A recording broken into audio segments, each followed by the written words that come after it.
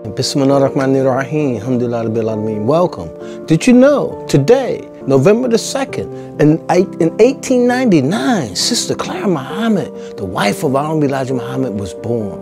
Sister Clara Muhammad is known as the mother of the nation of Islam.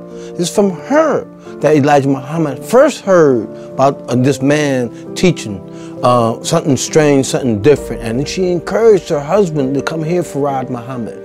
And also in 19, from 1942 to 1946, she was the one that held the Nation of Islam down. She also, while Elijah Muhammad was in prison, sent him um, pages from the Quran, um, ayats or verses from the Quran. So she was the first one uh, bring in the Quran, the words of the Quran into the prisons. She held, if you look at some of the police reports and different things, she held then the Nation of Islam down when Elijah Muhammad was in prison with the help of Sultan Muhammad out of uh, uh, Wisconsin, uh, Milwaukee, and as well as her brother-in-law, Honorable Elijah Muhammad's oldest brother, known as uh, Wali Muhammad, but he was born with the name William. Um, they both were very, all three was very instrumental of keeping the Nation of Islam together.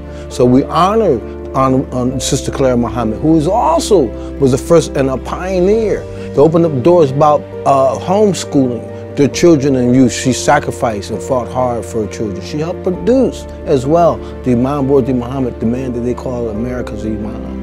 Uh, produced that heart and that love. And I would recommend two books.